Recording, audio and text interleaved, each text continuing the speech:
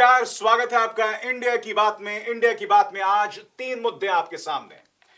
हिमाचल और गुजरात के चुनावों में चुनाव आचार संहिता की धज्जियाँ उड़ाते देश के गृह मंत्री और चुनावों के दौरान जिस तरह का ड्रामा बीजेपी कर रही है। मुद्दा नंबर दो, राहुल गांधी की भारत जोड़ो यात्रा निर्णायक दौर पर पहुँच गई है, महाराष्ट्र में प्रवेश कर चुकी है और मीडिया ने उन पर अनर्गल हमले शुरू कर दिए मुद्दा नंबर तीन शिवसेना नेता संजय राउत को बेल देते हुए जिस तरह से फटकार अदालत ने प्रवर्तन निदेशालय को लगाई है और जिस तरह से मोदी सरकार एजेंसीज और राज्यपालों का इस्तेमाल कर रही है अपने विरोधियों पर निशाना साधने के लिए। ये तीन मुद्दे होंगे दोस्तों, तीनों अहम मुद्दे हैं। शुरुआत हम करना चाहेंगे हिमाचल प्रदेश और गुजरात के चुनावों की सरगर्मियों के साथ। खुलेआम अमित शाह धर्म के नाम पर न सिर्फ़ वोटों की अपील करते हैं, त्रिशूल का मुजाहिरा होता है और बाबर का नाम लेते हैं, राम मंदिर जन्मभूमि के हिंसक इतिहास की बात करते हैं। चुनाव आचार संहिता सो रहा है क्या? और बीजेपी का टूल किट भी दिखाई देता है। प्रधानमंत्री नरेंद्र मोदी पहले गुजरात में और अब दो दिन पहले हिमाचल प्रदेश के अंदर अपनी गाड़ी को रोककर एक एंबुलेंस को जाने देते हैं। यानी पूरा ड्रामा चल रहा है जीत के लिए। क्या है इस खबर का पंच? शुरुआत करना चाहेंगे हम उर्मिलेश जी से। देखिए अभिसार मैं समझता हूँ कि इलेक्शन कमीशन एक न्यूट्रल अंपायर की जो भूमिका होती है वो बिल्कुल नहीं कर रहा है और कोड ऑफ़ कंडक्ट को लागू करने उसको समझने व्याख्यायित करने के मामले में वो बिल्कुल डेड है। वो वो वो कुछ आ, हरकत ही नहीं कर रहा है। भाषा आप बताएँ क्या है इस खबर का पंच? अभिसार मुझे लगता है 2014 के बाद से जितने भी चुनाव हुए हैं, तकरीबन वो सब एक बड़े नाटक के रूप में, जैसे थिएटर होता है ना, उस रूप में हुए हैं। उस थिएटर के दो एलिमेंट्स बहुत ज़रूरी हैं। पहला, नफरत, हिंदू मुसलमान, और दूसरा कि लाइट कैमरा एक्शन के साथ पहले से स्क्रिप्ट लिखी जाती है। जैसा हमने एंबुलेंस में देखा, सारा का सारा इस एंगल से भी, उस एंगल से भी, मोदी जी की कार के पीछे से भी सारा का सारा शूट होता है और लोगों को भरमाया जाता है। ये एक नया नॉर्मल है भारत का। अभिसार, क्या है इस पे आपका पंच? इस मुद्दे पर मेरा पंच है दोस्तों कि चुनाव हमेशा बराबरी का होना चाहिए। समान अवसरों को होना चाहिए और ये समान अवसर विपक्ष के पास नहीं है। उत्तर प्रदेश के चुनावों ने प्रमाणित किया था, हिमाचल और गुजरात के चुनाव भी वही प्रमाणित कर रहे हैं। मगर यह चुनौती है विपक्ष के लिए। जब ऐसे प्रतिकूल हालात हों, तब आपको जोरों से, पूरे जुनून के साथ चुनाव लड़ना पड़ेगा। चलिए, अब सबसे पहले हम चर्चा करते हैं गुजरात और हिमाचल के चुनावों में जो चर्चा हो रही थी। मैं आपको चुनाव आयोग का जो आचार संहिता क्या कहती है, वो पढ़ के सुनाना चाहता हूँ। हिंदी में, वोट्स हासिल करने के लिए जातीय और सांप्रदायिक भावनाओं की दुहाई नहीं दी जानी चाहिए। अब अंग्रेज़ी में political parties and candidate should refrain from any activity which may aggravate existing differences or create mutual hatred or cause tension between different caste and communities religious or linguistic or otherwise asking for votes in the name of religion is frowned upon साफ़ तौर पर यह कहता है चुनाव आयोग का दिशा निर्देश, यहाँ पर उर्मिलेश जी और खुलेआम अमित शाह जिस तरह से त्रिशूल लेकर बैठे हुए हैं, जिस तरह से बाबर को याद कर रहे हैं, राम जन्मभूमि की, ये बौखलाट है, हम जानते जीत को लेकर किसी भी कीमत पर जीतना है, मगर ये तो हद हो गई है साहब। देखिए अभिसार, अगर आप भारत के चुनावों को देखिए तो बहुत पहले से कम्युनल रिलीजियस कास्ट इस तरह के जो इश्यूज़ रहे हैं, इनके इस्तेमाल की प्रवृत्ति अपने समाज में रही है। क्योंकि इस समाज में ये बहुत डोमिनेंट है। कास्ट रिलीजन कम्युनलिज्म ये हमेशा से रहे हैं। लेकिन जब कभी ये प्रवृत्तियाँ उभरती रहीं डोमिनेंट होती रहीं और पूरे इलेक्शन की राजनीति को प्रभावित करती रहीं चुनाव आयोग जब कभी उसने कदम उठाए तो उस पर काफ़ी हद तक बंदिश लगी और हम्म। केवल उस चुनाव में बंदिश नहीं लगी। आगे के चुनाव के लिए भी एक comparatively relatively fair atmosphere create हुआ। जैसे आपको मैं उदाहरण दूँ बाल ठाकरे साहब बहुत ताकतवर हिंदुत्ववादी नेता उन्होंने बम्बई उस समय कहलाता था। बम्बई के एक इलेक्शन में बाई इलेक्शन था वहाँ पर एक कैंडिडेट के खिलाफ उन्होंने अपने कैंडिडेट के पक्ष में जो कैंपेन किया उसमें कम्युनल और रिलीजियस इश्यूज़ को उभारा था। इसको कंप्लेन किया गया। उस समय देश के राष्ट्रपति के आर नारायणन साहब थे। मामला कोर्ट में गया। इलेक्शन कमीशन ने रिफर किया। के आर नारायणन साहब ने बाकायदा ये आदेश दिया कि इस पर तत्काल जो है इन्वेस्टिगेशन किया जाए और ज़रूरत के हिसाब से कोर्ट भी जाया जाए। तो इलेक्शन कमीशन को मजबूर होना पड़ा। और अल्टीमेटली बाल ठाकरे को छह साल के लिए मतदान करने से भी प्रतिबंधित कर दिया गया था। चुनाव यहाँ लड़ने की तो बात छोड़ तो चर्चा ही नहीं हुई। और आप जानते भाषा अमित शाह एक तरह से रिपीट ऑफेंडर है। बार बार जो है हर चुनाव में करते हैं। आपको याद होगा लोकसभा चुनावों में जब राहुल गांधी वायनाड से चुनाव लड़ रहे थे जनता के सामने एक झूठी बात कहना कि वायनाड में अधिकतर मुसलमान हैं इसलिए वहाँ गए। फिर आपको याद होगा उत्तर प्रदेश के चुनावों में 2017 में जी। विपक्ष के दलों को आतंकवाद से कंपेयर करना कसाब है। ना? दिल्ली के चुनाव में। दिल्ली के चुनाव में कि। बाबरपुर में बटन दबाओ शाहीन बाग को करंट लगेगा ऐसे कौन बोलता है? आप गृह मंत्री हैं भाई। तो इलेक्शन कमीशन का रोल है बॉस इलेक्शन कमीशन काम नहीं कर रहा है। दैट इज़ द प्रॉब्लम नहीं देखिए अभी तो मुझे लगता है कि सरकार को और जिन लोगों के नाम हम ले रहे हैं अमित शाह जी को और मोदी जी को पता है कि चुनाव आयोग कुछ नहीं करने वाला है। हम्म। वरना आप देखिए कि कम्युनल एजेंडा है ही साफ़ खुलेआम मतलब फ़ोटो छप रही है त्रिशूल के साथ। हम्म। अभी आपने पढ़ा कि चुनाव आयोग को क्या करना चाहिए था। नरोदा पोटी, पोटिया में देखिए कि वहाँ पर जो व्यक्ति जिसको मैसेकर के लिए आजीवन कारावास है उसने जिस तरह से लोगों को मारा था उसकी बेटी को आप चुनाव लड़ा रहे हैं। अहमदाबाद में। तो ये जो सारा का सारा एजेंडा है बिल्किस के जो बलात्कारी और हत्यारे हैं उनके बारे में खबरें आ रही हैं कि उनको भी एक्टिव रोल होगा। वो अपने अपने इलाकों में प्रचार कर रहे हैं। सिर्फ़ इतना ही नहीं हमने ये भी देखा है कि जो गुरमीत राम रहीम का किस तरह से आदमपुर। में चुनाव में इस्तेमाल हुआ और वो सीट जीत गए। जीत गए, वो सीट जीत जीत गए। जबकि वो कांग्रेस की सीट कांग्रेस की सीट है तो मुझे लगता है कि इस समय चुनाव आयोग जैसी कोई चीज़ है यह मानना भी हम आप अपने भ्रम के लिए रख लें विपक्षी दल अपने भ्रम के लिए रख लें क्योंकि ज़मीन पे काम करते हुए तो नहीं नज़र आता। फ्री बीज की बात होती है हाँ। और आप देखिए गुजरात और हिमाचल चुनाव मतलब फ्री बीज या घोषणाओं की बात करिए तो बीजेपी को कौन स्कूटी से लेकर लैपटॉप से लेकर सारी चीज़ों की बात हो रही है? ठीक है यानी कि विपक्ष जो है समान अवसर नहीं है। और ये ना भूलें 2019 के लोकसभा चुनाव में क्या हुआ था? एक चुनाव आयुक्त ने प्रधानमंत्री नरेंद्र मोदी और अमित शाह के चुनाव आचार संहिता के उल्लंघन पर आपत्ति दर्ज की थी। उसकी हालत यह कर दी गई थी कि उसके परिवार के सदस्यों पर इनकम टैक्स की रेड और यह बात अलग है, वो बाद में जीत गए।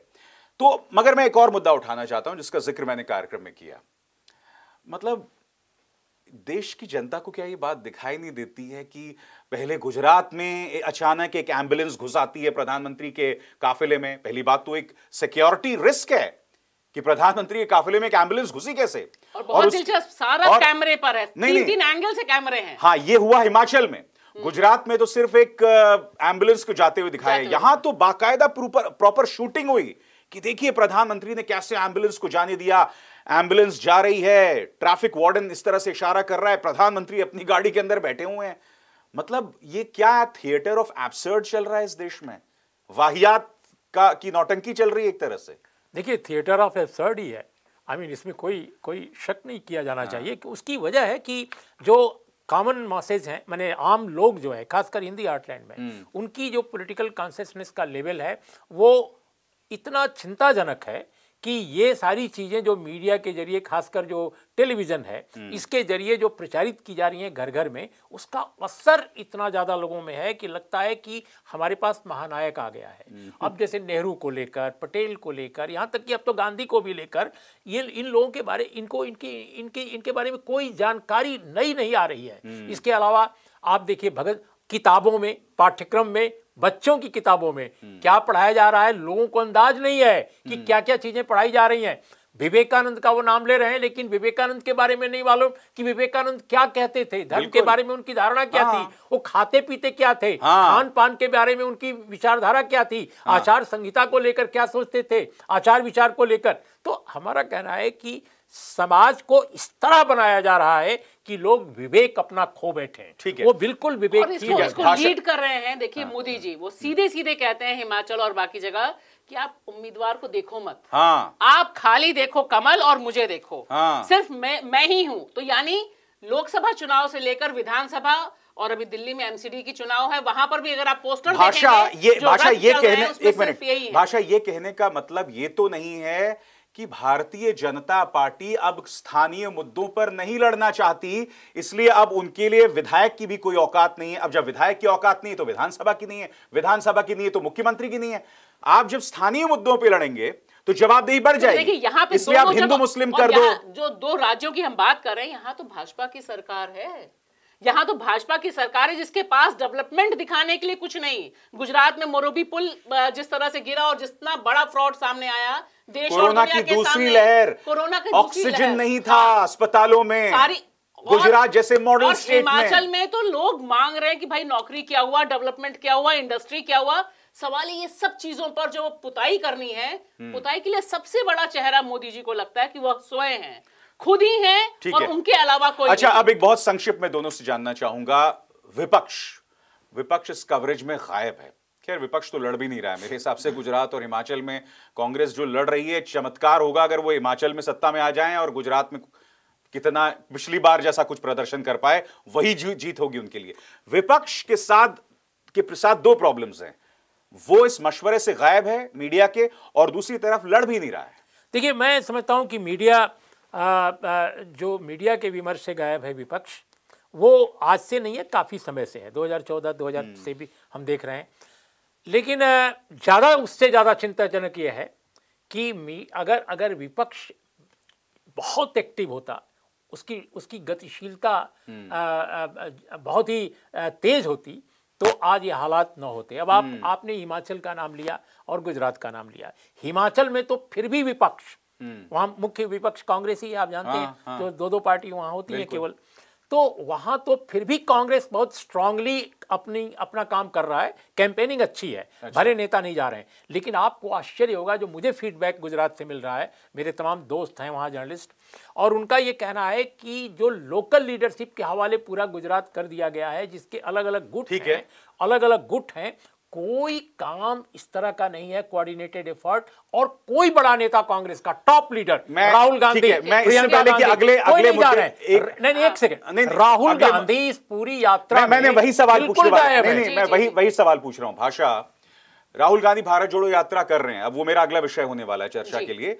मगर क्या आपको नहीं लगता कि कुछ देर के लिए विराम देकर हिमाचल में जाते गुजरात में जाके। रैलीज करते वहाँ से वो नदारद है? मेरा मानना सही है? देखिए मेरा मानना है अभिसार कि कांग्रेस की जो रणनीति है और जो लोग हिमाचल में हैं जो लोग गुजरात में वो बता रहे हैं कि इस बार उनकी रणनीति अंडर प्ले करने की है और हम्म। जिन इलाकों में मज़बूत है कांग्रेस और बीजेपी हिमाचल में हो या गुजरात में हो वहाँ पे उनके काम प्रदर्शन रैलियाँ ठीक हो रही हैं और शायद इस बार क्योंकि हम उनका जो पहले का असेसमेंट है कि जब भी बड़े नेता जाते हैं है। और जीत की क्लेम होता है तो जिस तरह से सूरत में और तमाम जगहों पे पिछली बार गुजरात में था जो उनका गढ़ था आंदोलन का और प्रोटेस्ट का उसे ही ढाया गया।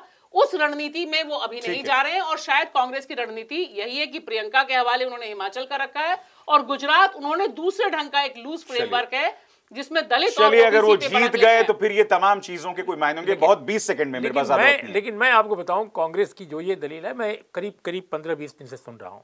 ये बिल्कुल हास्यास्पद है निरर्थक है बेमानी है। हम्म। चुनाव अगर आप शिद्दत के साथ नहीं लड़ते तो लोकतंत्र में और राजनीति में कोई मतलब नहीं है। हाँ। फिर एनजीओ चलाइए। और चुनाव में ढोल पीटना ज़रूरी है बॉटम लाइन ये है। चलिए अब हम दूसरे मुद्दे का रुख करते हैं। राहुल गांधी की भारत जोड़ो यात्रा जो है निर्णायक दौर में पहुँच गई है। और वो महाराष्ट्र में प्रवेश करते हैं। आदित्य ठाकरे उनके साथ कंधे से कंधा मिलाकर चल रहे हैं। अब राहुल गांधी जैसे ही महाराष्ट्र में प्रवेश करते हैं, अनुराग ठाकुर पहले तो उन पर एक निहायत ही वाहियात हमला बोलते हैं। वो एकता कपूर के सीरियल से प्रभावित होकर कहते हैं कि, भाई और बहन, में बन नहीं रही है क्या? अब तक प्रियंका गांधी वाड्रा गई क्यों नहीं? फिर समानांतर तौर पर मीडिया कहने लगता है, जो शब्दावली इस्तेमाल होती है टुकड़े टुकड़े गैंग को बढ़ावा दे रहे हैं। इमरान खान से उनकी यात्रा की तुलना, यानी कि एक तरह से ब्रेन वॉश किया जा रहा है राहुल गांधी की यात्रा के खिलाफ। क्या है इस मुद्दे का पंच? भाषा आपसे शुरुआत करते हैं। देखिए, मेरा मानना बहुत साफ़ है कि अब महाराष्ट्र तक पहुँचते पहुँचते एक स्टेबल हो गया है। एक, उसने आधार बना लिया है, ज़मीन बना लिया है, भारत जोड़ो यात्रा ने, जिसे लेके तमाम आशंकाएँ थी। ग्राफ बढ़ रहा है। लोग जिस तरह से आ रहे हैं अलग अलग सेक्शंस के लोग पॉलिटिकल लोग, राजनीतिक लोग आ रहे हैं।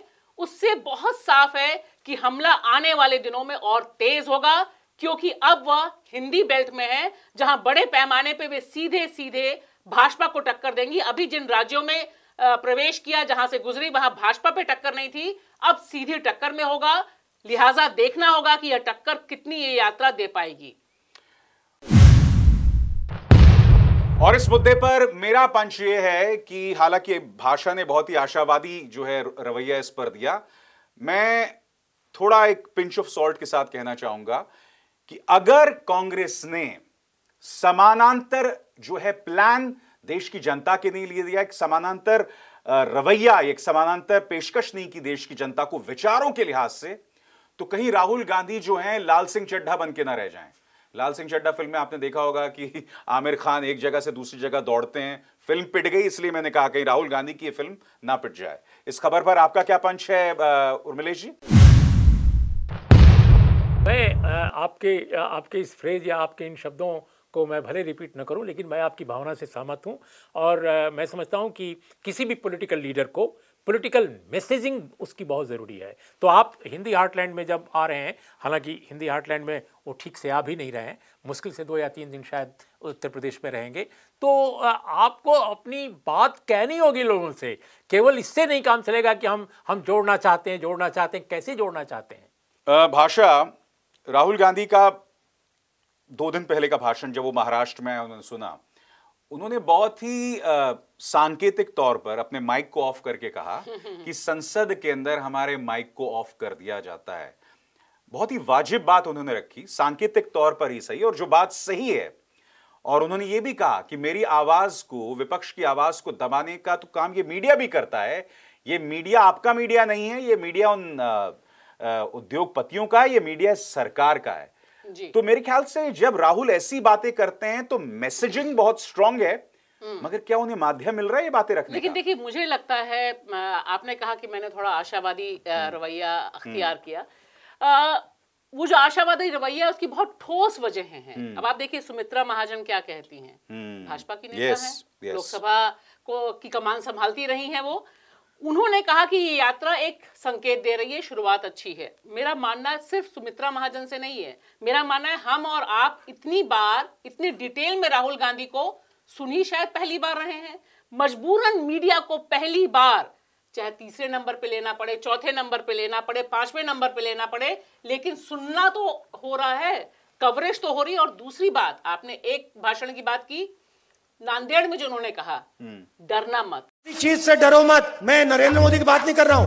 अब आप देखिए वो जो वीडियो है वो कितना वायरल हुआ जहाँ पे वो यूथ को कह रहे हैं कि मैं सिर्फ़ मोदी जी और अमित शाह से नहीं कह रहा हूँ कि आप उनसे मत डरो। आप किसी से मत डरो और देशभक्ति का जो मामला है कि देशभक्ति को उन्होंने सीधे सीधे कहा कि नफरत करने वाले लोग देशभक्ति नहीं कर सकते। बहुत बहुत अच्छी बात कही कि भैया किस देश की भक्ति? हाँ। किस देश की भक्ति क्या देश में आप एक भाई से दूसरे भाई से तो मुझे लगता है ये मौका राहुल गांधी और कांग्रेस को मिला है कि अल्टरनेटिव जो है क्योंकि अभी तक भरमार सिर्फ़ नफरत की है हम्म। सिर्फ़ तोड़ने की है देश तोड़ने वाले विचारधारा की है ठीक है वहाँ पर इनके पास एक प्लेटफॉर्म है और धीरे धीरे आप देखिए अभिसार हम्म। जो पूरी बॉडी लैंग्वेज है राहुल गांधी की और जिस तरह से वो बोल रहे हैं हम्म। उसमें एक सिंसियरिटी और एक कॉन्फिडेंस का स्तर बढ़ता जा रहा है ठीक है मगर ऐसा है, उर्मिलेश जी, ये तमाम चुनौतियाँ जो राहुल गांधी के सामने हैं बहुत गंभीर हैं। एक तरफ़ तो मीडिया का पूरा प्रोपेगेंडा है कि भाई टुकड़े टुकड़े गैंग है, एक कांग्रेस का नेता जिसकी शक्ल को हम नहीं पहचानते, उसने हिंदू धर्म के बारे में कोई, हिंदू शब्द के बारे में कोई वाहियात बात कही, उसको लेकर लगातार प्राइम टाइम डिबेट हो रहा है। तो एक तरफ़ यह प्रोपेगेंडा है। मगर अगर इन चुनौतियों के रहते हुए अगर राहुल गांधी भारतीय राजनीति में अपनी छाप छोड़ पाते हैं तो मुझे लगता है कि इस देश में जो आंदोलनों का इतिहास रहा है यात्राओं का इतिहास रहा है यह यात्रा अपना एक खास मुकाम रखेगी। कितने प्रतिकूल हालात में भी इसने अपना जो है छाप छोड़ी। देखिए मैं राजनीतिक रूप से और वैचारिक रूप से पहले भी कह चुका हूँ आपके शो में और आज फिर रिपीट कर रहा हूँ कि राहुल गांधी आज के दौर में जो मध्य मार्गी दल हैं लिबरल या, या मध्यवर्ती समुदायों को लेकर चलने वाले या सभी तरह के लोगों को लेकर चलने वाले उसमें वो सबसे सु, सुचिंतित नेता हम्म। हैं। सबसे समझदार लोगों में से एक है। हम्म। लेकिन उनकी जो पॉलिटिकल प्रैक्टिस मुझे नज़र आती है उसमें कुछ बड़ी खामियाँ हैं। और इस यात्रा में जो एक बात है कि जिस साउथ पर उन्होंने कंसंट्रेट किया है वो अच्छी बात है। लेकिन वो वहाँ बीजेपी नहीं है। बीजेपी हम्म। केवल कर्नाटक में है और कहीं नहीं है। असल लड़ाई कांग्रेस की और राहुल गांधी की साउथ से नहीं है। वहाँ तो रीजनल पार्टीज़ और कांग्रेस दोनों संभाल लेंगे देश को। कम्युनिज्म से मुक्त करा लेंगे। और कर्नाटक में भी बहुत ज़बरदस्त एंटी इनकम्बेंसी चल रही है। Exactly exactly. राहुल गांधी की और कांग्रेस की असल अग्नि परीक्षा जो है वो हिंदी हार्टलैंड में है। हम्म। चाहे वो मध्य भारत हो चाहे नॉर्थ का भारत हो। ठीक है जी? तो इन इलाकों के लिए राहुल गांधी का क्या एजेंडा है? सबसे बड़ी बात यह है। और क्या वो अपनी यात्रा से इन प्रदेशों को मोबिलाइज कर सकते हैं? कोई एक संदेश दे सकते हैं कि भाई हम आ गए हैं और हम सीरियसली एसर्ट करेंगे और यहाँ पर बीजेपी का विकल्प पेश करेंगे। क्या आपको लगता है भाषा की तरीका यह है कि आप हिंदी हार्टलैंड में जो क्षेत्रीय दलों के साथ एक जूनियर पार्टनर बन के ये नहीं कि उन्हें आप डोमिनेट करें क्योंकि डोमिनेट करने का नतीजा हम बिहार में देख चुके हैं।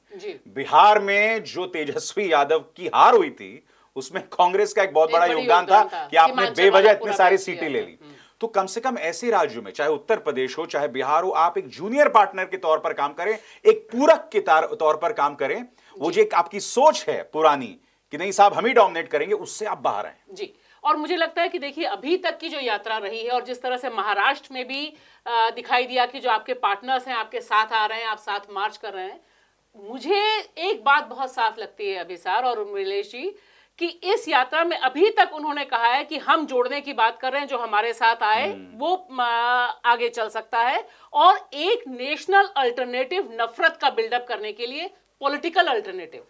ये एनजीओ या बाकी समाज सिविल सोसाइटी वाला विकल्प नहीं है क्योंकि यहाँ जो बातचीत है वो है।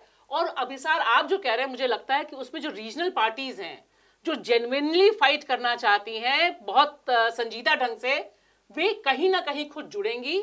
और एक जूनियर और सीनियर पार्टीज़ का जो तालमेल है क्योंकि अब सबके लिए अस्तित्व का बहुत बड़ा गंभीर सवाल है कि आप किस तरह से देश को बचा रहे हैं। इसलिए महाराष्ट्र में जो दोनों पॉलिटिकल पार्टीज़ ने किया कि हम आपके साथ चलेंगे चेन्नई में जिस तरह से किया कि आप आ, के साथ हम चलेंगे और नहीं भूलिए कि कर्नाटक क्योंकि कर्नाटक कांग्रेस के लिए बहुत ही मुश्किल स्टेट उसी तरह से है जैसे मध्य प्रदेश और यूपी क्योंकि वहाँ पर गुजरात और यूपी के बाद एक बड़े पैमाने पे नफरत की फैक्ट्री भाजपा ने तैयार की है, है। वहाँ पर जिस तरह का असर जिस तरह से लोग जुड़े हैं पॉलिटिकली उसको कैसे कल्मिनेट करेंगे वो कांग्रेस की कांग्रेस का सरदर्द है लेकिन एक अल्टरनेटिव बिल्डअप हुआ है, है। ये कम से कम सकारात्मक है। चलिए अब हम अपने तीसरे मुद्दे का रुख करते हैं। इस हफ़्ते की एक और बड़ी खबर थी जिस तरह से शिवसेना नेता संजय राउत को बेल मिली। अदालत ने प्रवर्तन निदेशालय यानी ईडी को फटकार लगाई। ये तक कहा कि ये सिविल डिस्प्यूट था आपने बेवजह मनी लॉन्ड्रिंग में उन्हें घेर लिया।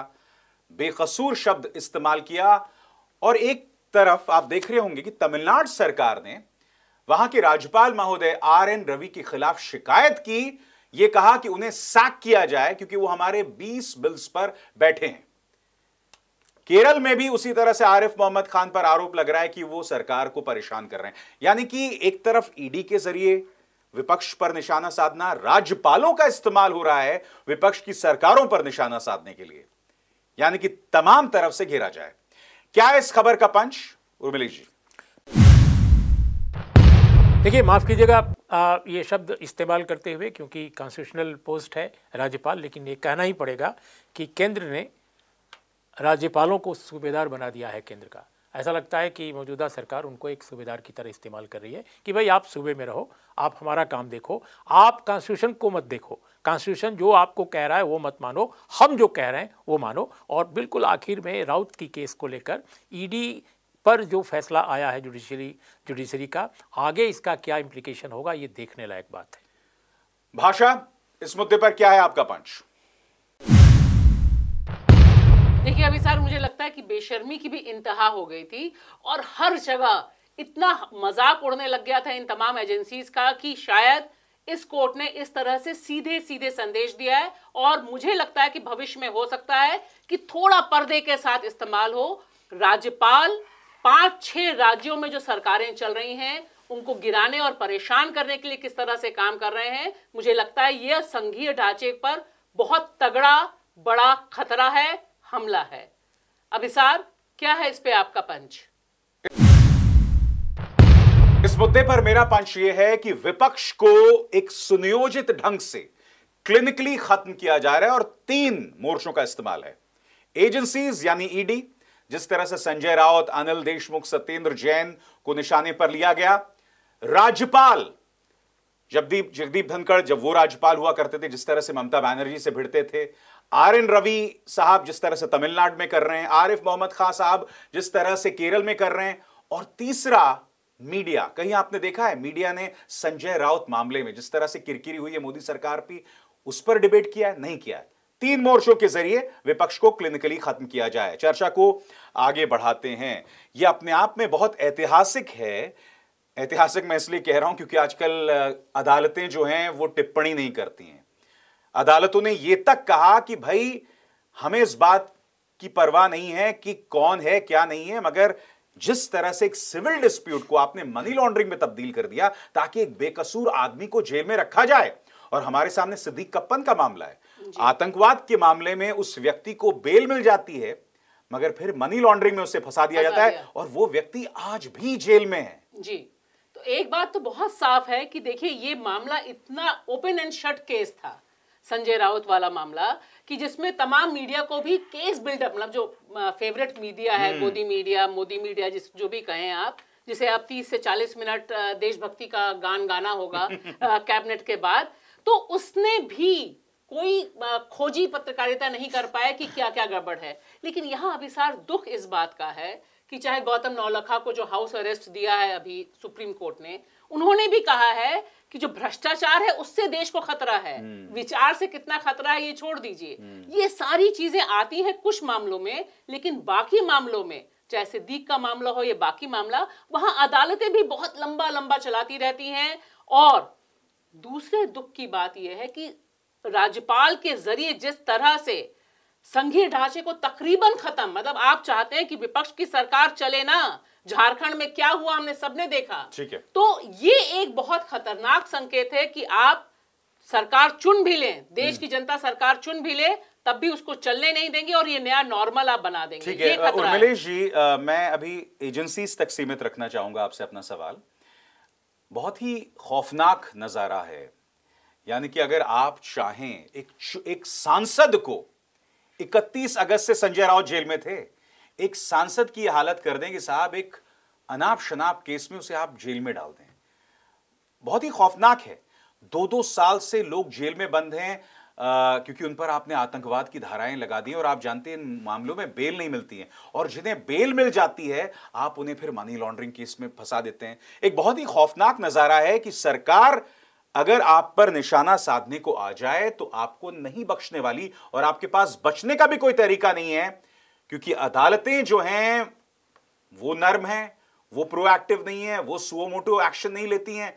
तो एक आम इंसान के लिए जो इस व्यवस्था के खिलाफ खड़ा है उसके लिए एक बहुत ही निराशावादी स्थिति है।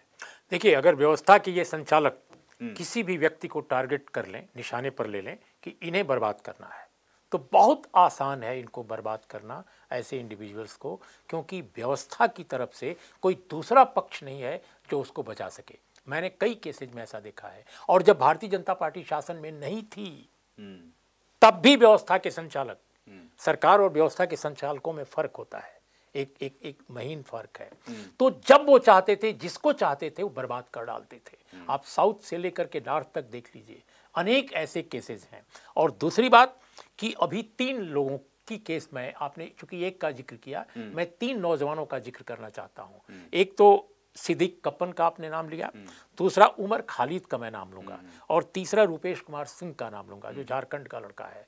और इन तीनों की केसेस को एक जर्नलिस्ट के तौर पे मैंने बहुत बारीकी से अध्ययन किया है। उन पर लेवल किए गए चार्जेस को और असलियत को। उनके बारे में बहुत सारे तथ्य गैदर भी किए हैं। मैंने समय समय पर अपने कॉलम्स में भी लिखा है। मैं आपको बताऊँ इन पर कोई केस नहीं बनता। कोई केस नहीं बनता। लेकिन इनको कैसे कैसे केसेज में फंसाया गया है? जैसे हरियाणा की वो लड़कियों को फंसाया गया था। एक नॉर्थ ईस्ट की लड़की थी एक नरवाल ये हरियाणा की संभवतः और एक लड़की थी जो नॉर्थ ईस्ट की थी। कैसे उन लड़कियों को फंसाया गया था? तो ये इसका क्या मतलब है? इसका मतलब है कि अगर लोकल लेवल पर भी आपके खिलाफ कुछ लोग हैं जो व्यवस्था के संचालकों से। कनेक्ट उनका है। तो आपको बर्बाद करने में पहला काम यह करते हैं कि आपको बदनाम करते हैं। पहले आपकी पूरी इमेज को खत्म करते हैं। इसके बाद आपके खिलाफ मोबिलाइजेशन होता है फिर कोर्ट कचहरी आती देखिए है मेरा मानना है कि ये पॉलिटिकल डिसीजंस हैं। ये और ये इससे पहले क्या होता रहा 2014 से पहले उसमें अगर कंपेयर करिए तो जो होम मिनिस्ट्री ने पार्लियामेंट में बताया उसमें भी पता चलता है कि 2000 गुना अधिक केसेस फ़ाइल हुए हैं। हाँ, अ, ये वो है जो होम मिनिस्ट्री संसद में बोल रही नहीं है। और एक फ़र्क भी है। भाषा मैं मैं एक मिनट रोक रहा हूँ आपको। फ़र्क ये भी है कि उस वक्त मीडिया जो है ना कांग्रेस का की साझेदार नहीं होता था। लोगों को टारगेट करने के लिए। आज की तारीख में जो लोग जेल में बंद। हैं उन्हें देशद्रोही गद्दार बताने में मीडिया ने जो प्रोपेगेंडा चलाया था जो- जो 2014 से पहले, पहले नहीं नहीं होता था। था। क्यों? इस समय सिर्फ़ मीडिया ही नहीं सारा सिस्टम मतलब न्यायपालिकाएँ जो पैरोल पे निकल रहे हैं जो मैंने आपको ज़िक्र किया कि फरलो मिलता है तीन तीन महीने का। यहाँ स्टेन स्वामी जेल में मर जाते हैं उनको जमानत नहीं मिल पाती है। तो ये बात बहुत साफ़ है कि इस समय लोकतंत्र के जितने खंबे हैं वो तकरीबन जो सत्ता में लोग बैठे हैं वो चाहते हैं तकरीबन उसी टोन में बात करते हैं उसी टोन में आगे बढ़ाते हैं और ये लोकतंत्र के खतरे की घंटी है अंत में संक्षिप्त तौर पर क्या आज़ाद भारत के इतिहास में ऐसा कभी पहले हुआ है जहाँ राज्यपाल जो हैं इस तरह से एक बिल्कुल हेंचमैन का बिल्कुल रवैया अख्तियार करते हुए ढेरों मिसाल है हमारे सामने दिल्ली के उपराज्यपाल से लेके जाइए आप झारखंड की तरफ़ जाइए आप पश्चिम बंगाल की तरफ़ जाइए आप तमिलनाडु की तरफ़ जाइए इतना टकराव। मैंने तो आज तक नहीं देखा है अपनी पिछले 25 साल की पत्रकारिता में कि राज्यपाल का इस तरह से टकराव हो रहा है। आपको याद होगा जगदीप धनखड़ किस तरह से बाहर निकल जाते थे जिस तरह से बयान देते थे जैसे कि भाजपा को कोई नेता हो। और आप देखिए खिलाफ ये जो। ये जो नया आपको दिखाई दे रहा है दंगल या नई आक्रामकता ये भाजपा की अपनी शैली है और सारे गवर्नर ज़ाहिर है उसके हैं उन्होंने अपॉइंट किया है और उसमें ज़्यादातर ऐसे जो भूतपूर्व भाजपा नेता भी हैं। तो जैसे आरिफ मोहम्मद खान वो बीजेपी के नेता है पहले कांग्रेस में थे। तो ये जैसे रवि साहब तमिलनाडु के जो गवर्नर हैं वो आईपीएस ऑफिसर हैं लेकिन इज़ वेरी बहुत ही हॉस्टाइल इस समय है तमिलनाडु सरकार को लेकर।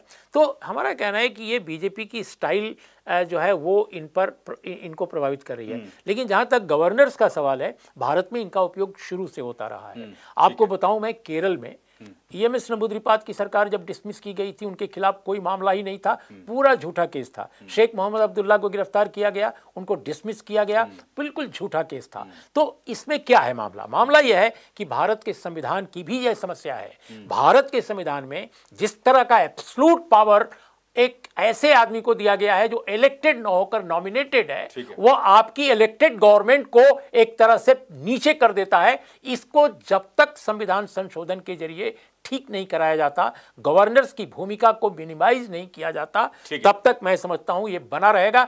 जब कभी कोई निरंकुश सरकार केंद्र में आएगी वो गवर्नर्स का ऐसे ही इस्तेमाल करेगी। लेकिन अभी तो अनप्रेसिडेंट मेरा कहना है कि सब कुछ जो होता रहा है और अभी जो हो रहा है उसमें ज़मीन आसमान का अंतर इसलिए है क्योंकि यहाँ पर कोई चेक बैलेंस नहीं है। अभिसार जो मीडिया की आप बात करते हैं जो न्यायपालिका की हम बात करते हैं और कार्यप्रणाली जो है वो तो पूरी की पूरी उनके साथी में है। एक भी इंसिडेंट एक भी घटना पाँच राज्यपालों का हमने ज़िक्र किया जहाँ बताइए कि कोई सिस्टम आया यह बोलने के लिए कि यह राज्यपाल केरल में नहीं कर सकते तमिलनाडु में नहीं कर सकते झारखंड में नहीं कर सकते। इसलिए यह स्थिति बहुत खराब है। चलिए बहुत बहुत शुक्रिया आपका और आज इंडिया की बात में हमने तीन अहम मुद्दे आपके सामने रखे। आपसे भी अपील कि इस कार्यक्रम को ज़्यादा से ज़्यादा लोगों तक पहुंचाएँ अपने व्हाट्सएप और एसएमएस के ज़रिए। अभिसार शर्मा, भाषा और उर्मिलेश को दीजिए अनुमति। नमस्कार।